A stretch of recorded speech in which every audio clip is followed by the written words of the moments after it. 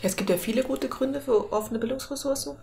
In der Einführungsveranstaltung wurden, werden ja auch einige sehr pragmatische unter anderem genannt, dass es halt rechtlich äh, keine Schwierigkeiten macht, zum Beispiel Digitalkopien anzulegen vom Schulbuch, die man ja einfach braucht, wenn man ähm, mit einem Schulbuch arbeiten möchte und Beamer im Unterrichtsraum hat.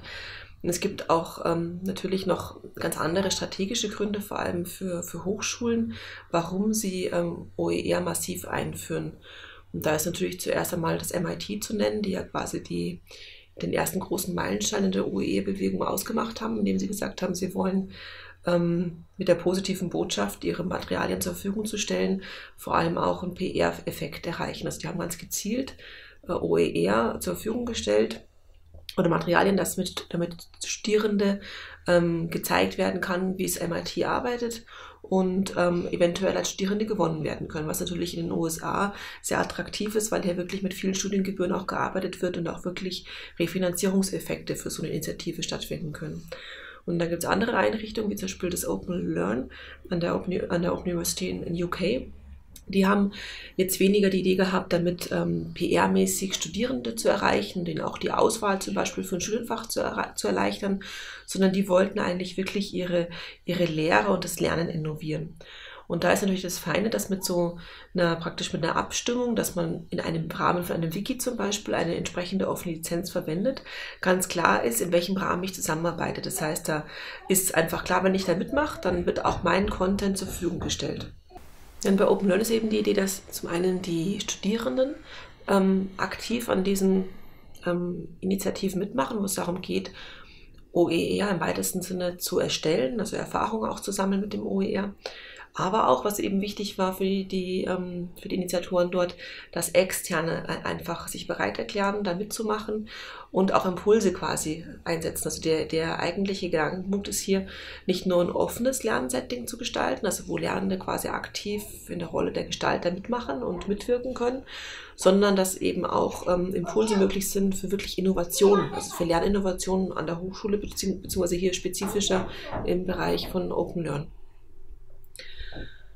Ja, also diese, diese, diese ähm, offene Innovation, also diese Möglichkeit, dass man grenzübergreifend oder institutionenübergreifend zusammenwirken kann, zeigt sich natürlich vor allem auch also im deutschsprachigen Raum, vor allem bei den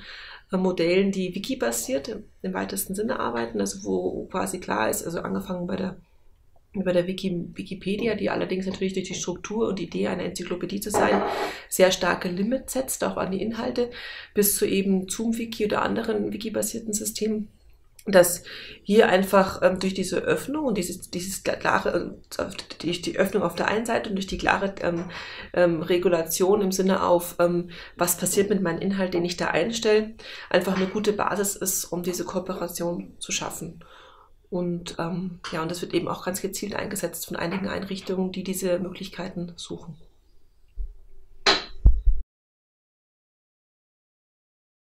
Ja, von einer OER flächendeckenden Verbreitung sind wir noch weit davon entfernt. Also gerade im Primarschulbereich kann man ja ähm, noch überhaupt nicht annähernd davon sprechen, dass OER überhaupt Fuß gefasst hat. Und gerade da ähm, erwarte ich mir oder erhoffe ich mir sehnlichst ähm, eine Initiative, dass erste Schulbücher wirklich als OER zur Verfügung gestellt werden. Und was dann passieren würde, also wenn jetzt quasi, wenn es eine Möglichkeit gäbe zu sagen, dass alle Schulbücher, die momentan eingesetzt werden in der Primarschule, auf einmal OER wären. Also wenn so ein Szenario realistisch wäre, aufgrund vielleicht auch von der Urheberrechtsveränderung oder so, dann würde das zum einen ähm, für mich bedeuten oder ich würde erwarten, dass wahnsinnig viele digitale und auch sonstige Lehrmaterialien auf einmal zur Verfügung gestellt werden können, die in den Schubladen und digitalen Archiven von Schulen und Lehrerinnen quasi vor sich hin siechen, nur in einzelnen Klassen eingesetzt werden, die aber nun auf einmal veröffentlicht werden dürfen, weil es halt vorher nicht möglich war, weil es nur kleine Varianten von den Materialien waren, die im Schulbuch stehen. Was ja sinnvoll ist für den Schulbuchunterricht, aber wenig sinnvoll für unsere Art des Lernens, wo auch Eltern gerne unterstützen würden, wo es auch Nachhilfeeinrichtungen gibt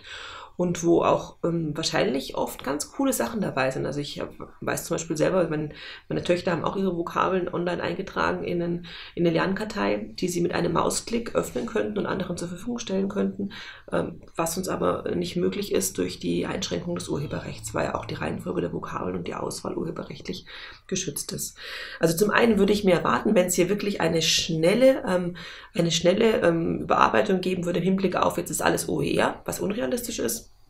ähm, würde auf einmal auch ähm, das Angebot an begleitenden Lehrmaterialien sehr, sehr groß sein. Also es gäbe da praktisch, ich glaube, keine große Nachholzeit, die Materialien aufzubereiten. Realistischer ist ja ein Szenario, dass all diese OER-Materialien neu nachentwickelt werden müssten und dann erst noch ein bisschen dauert, bis das Material darum auch wieder da ist. Ähm, und das ist natürlich die Frage, wenn wir jetzt wirklich in diesem Luxus schwelgen, ähm, sehr viel Material wäre da, sehr viel OER-Material wäre da, dann ähm, ist die Frage, ob es ähm, welche Art von Steuerungsmechanismen dann eintreten. Also welche Art von Auswahlmechanismen funktionieren, wie wird sich das auch organisieren. Und ich möchte das mit, dem, mit der Qualitätsaspekt nicht so hochhängen. Ich denke, das ist auch, ähm, auch jetzt schon ein Problem, dass die Schulbücher gar nicht so gut sind, wie wir es oft uns erwarten als Eltern und Lehrer. Also da gibt es bestimmt jetzt schon Schwierigkeiten, die wird es auch mit OER geben. Aber wie das dann genau funktioniert, ob das dann Zulassungsbeschränkungen sind, die ich mir nicht erwarten würde, sondern ich erwarte mir eher Mechanismen der gegenseitigen Kontrolle, Bewertung und Auswahl von Lernenden, die dann hier quasi wieder einen Überblick vielleicht schaffen, den man vielleicht wieder machen muss, wenn wirklich flächendeckend OER eingesetzt wird. Was ich jetzt vielleicht eher negativ sehe oder was ich mehr erwarten würde, ist sicher auch ähm, eine Gegenbewegung, die ähm, immer da ist, wenn es darum geht, irgendwas im offenen Austausch zur Verfügung zu stellen. Äh, offen, offen heißt ja vor allem kostenlos. Kostenlos hat immer auch die, ähm, die, die Seiten, ähm, Seitenanklang von ähm, ist nicht so viel wert. Das heißt, es wird sicherlich eine Bewegung geben, die auf Exklusivität ähm, Wert legt oder behauptet, exklusiven Anspruch zu haben, weil sie etwas kostenpflichtiges, ganz Besonderes, urheberrechtlich geschütztes zur Verfügung stellt und dass da wieder ähm, Gefühle entstehen und Bedürfnisse entstehen bei speziellen Eltern, Lehrern, Schülern, Studierenden, genau dieses Angebot haben zu müssen, das vermeintlich exklusive Inhalte hat und urheberrechtlich geschützte Materialien und quasi nicht für jedermann gedacht ist und jedermann auf der Straße gedacht ist.